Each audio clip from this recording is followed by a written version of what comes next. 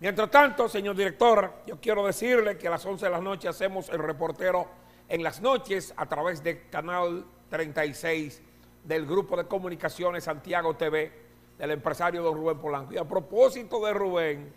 porque Aníbal Acevedo tiene una actividad que se desarrolló hoy, para la cual don Rubén Polanco también ha emitido acciones y posiciones como lo que, como lo que tiene que ver Rubén apoyando porque se mantuvo toda la campaña en las calles. Me dicen que Rubén Polanco no iba prácticamente a su casa, había estado en situaciones familiares a raíz de echarle en los hombros este proyecto del presidente de la República, que así lo viene desarrollando, y cargarse en sus hombros el proyecto de Ulises Rodríguez, cuando decidió apoyar al candidato electo del Partido Revolucionario moderno, pues decidió luchar a cuerpo a cuerpo a cuerpo. Y ahí está la muestra, Rubén Polanco en las calles, apoyando el proyecto de Ulises Rodríguez,